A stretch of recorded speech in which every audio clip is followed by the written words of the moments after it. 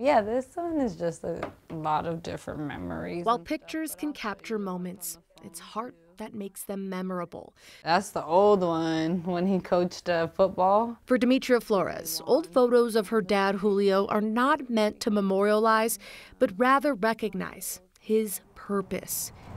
His decades with the Boys and Girls Club, as a volunteer to a staff member and coach, to eventually running the Cope branch for years before moving to Puerto Rico in 2021. You could just tell like that was just his passion, but once he finally was coaching and being with the kids, like that was really what changed him a, a lot. And I think he just enjoyed, yeah, just filled his heart.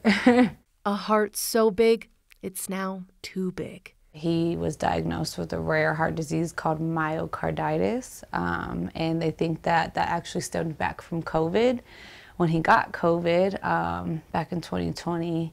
And then um, it was essentially just eating away at his heart. Julio was sent home with medicine. He was rushed back weeks later. His doctors told him his heart was operating at 20%.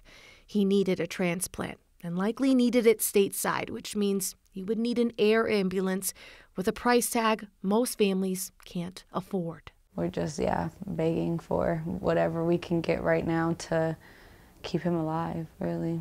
Keep him alive, to create old memories with someone new. I do any day now, and I can't go see my father. I literally have to remind myself, like, you have to stay calm and you have things here you got to do for the baby. Signs of change are all around Demetria's home.